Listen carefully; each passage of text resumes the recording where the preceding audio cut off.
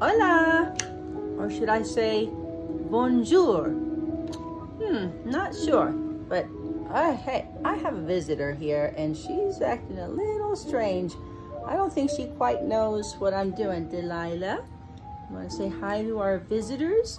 Say hi to all the boys and girls? Okay, thank you. She's my baby.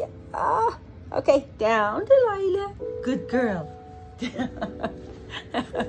okay, I don't think she knows what I'm doing. I think she's nervous. I think she senses that I'm nervous, and so she's nervous for me. Okay, down you go. Well, I said bonjour, and I said hola because today we're going to be looking at an artist by the name of Pablo Picasso. Well, he was born in Spain, but he studied in France and he became famous there. So let's go ahead and go from where we are, which is in North America, and let's travel all the way across the Atlantic Ocean. Oh, hello whales. Oh, look at all the fish we're going over. And then we're going to land right here. Well, there's Spain. And then France is right there also. So we're gonna land right there in the continent of Europe. Oh, I hope you get to go to Europe one of these days because if you love art, that is the place to go.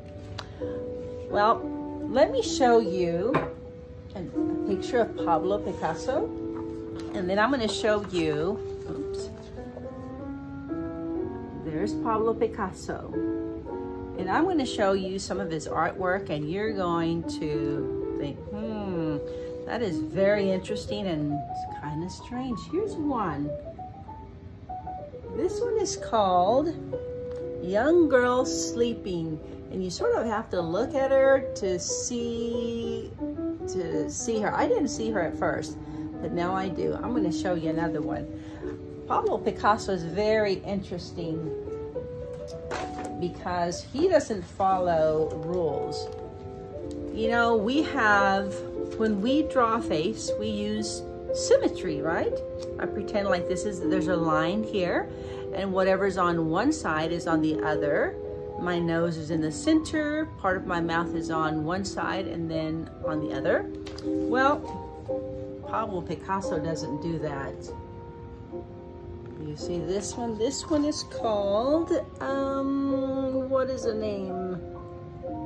Um, wow, I can't, I don't know. Portrait of Dora Maar. Okay, I'm going to show you another. And I, I like this one. This one's a weeping woman and it's very strange. Look at that. So you see Pablo Picasso just doesn't follow the normal drawing rules. And this type of drawing is called cubism. It uses a lot of geometric shapes. Uh, you'll see a lot of, it really just looks like a bunch of broken glass and wherever it falls, that's where it is. If I were to have a, a, a glass picture of my face and I drop it, I just put it together and there it is. That's kind of how he does his art. So it's very interesting. I think I have one more to show you.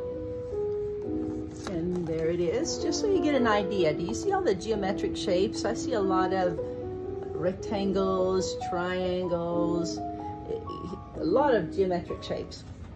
Okay, so we're going to do something similar but I think a little fun. You can pretty much do uh, Picasso drawings of anything or, or a cubism art out of anything. I think we're gonna do something like this. I didn't color it. I'll show you a colored picture in a little bit. But I thought, wouldn't it be fun to do a sun? Draw a sun and use cubism. Notice that nothing is symmetrical. It's actually asymmetrical, which means the two sides do not match. Here's another one that I thought would be fun. If you did different kinds of animals. And notice that we have these guidelines. So I'm gonna show you what to do so you can get started on your cubism drawing. I need a drink because my throat was getting a little scratchy. Okay, so I'm going to turn this over. I hope you can see.